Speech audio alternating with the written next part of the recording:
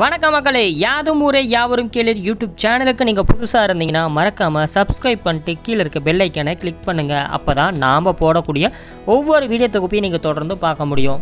சரி வாங்க வீடியோக்குள்ளே போகலாம். இன்னைக்கு நம்ம தமிழக முதல்வர் மு ஸ்டாலின் அவர்களுக்கு பார்த்தீங்கன்னா பிரபல டிஐ சைக்கிள்ஸ் நிறுவனம் பார்த்தீங்கன்னா தன்னுடைய புதுமுக இ சைக்கிள் ஒன்றை பார்த்தீங்கன்னா தமிழக முதல்வர் மு ஸ்டாலின் அவர்களுக்கு அன்பளிப்பாக வந்து வழங்கியிருக்காங்க. அந்த சைக்கிளை தான் நீங்கள் இப்போ பார்த்துட்டு இருக்கீங்க. இந்த சைக்கிளை பற்றி தான் நாம் இன்னைக்கு தெரிஞ்சுக்க போகிறோம் சரி வாங்க தெரிஞ்சுக்கலாம். தமிழக மக்களை கவரும் வகையில் பார்த்தீங்கன்னா இந்த டிஐ சைக்கிள்ஸ் நிறுவனம் பார்த்தீங்கன்னா இந்த புதுமுக இ சைக்கிளை பார்த்தீங்கன்னா தயாரிச்சிருக்காங்க. இப்போ நீங்கள் பார்த்துட்டு இருக்க இந்த சைக்கிள் பார்த்தீங்கன்னா ஒரு உயர்நிலை மற்றும் அதிக பர்ஃபார்மன்ஸ் வசதி எலக்ட்ரானிக் சைக்கிள் ஆகுங்க.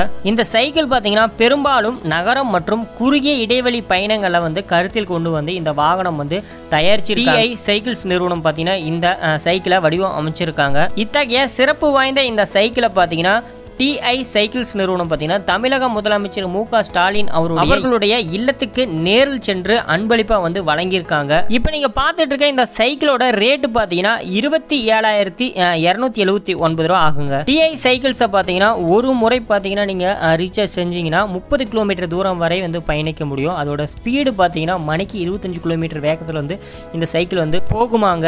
இந்த இ சைக்கிள் ஒரு கிலோமீட்டர் பயணிக்க பார்த்தீங்கன்னா ஏழு பைசா மட்டுமே செலவாகும் என இந்த நிறுவனம் பார்த்தீங்கன்னா தெரிவிச்சிருக்கு.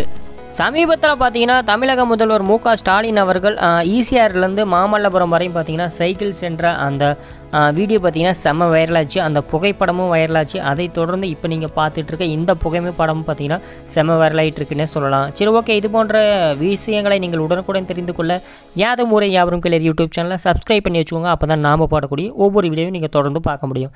சரி ஓகே. பாய்ங்க. மீண்டும் நாம் இது போன்ற அடுத்த வீடியோ தொகுப்பில் இன்னும் சில மணி நேரங்களில் சந்திக்கலாம்.